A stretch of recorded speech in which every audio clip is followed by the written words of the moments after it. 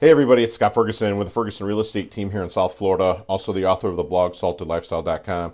We have a phenomenal new rental listing that just came on the market. Uh, we have it listed at 2200 a month, two bedrooms, two and a half baths. It's located in Juno Beach, Florida. Uh, very close to the ocean, which is awesome.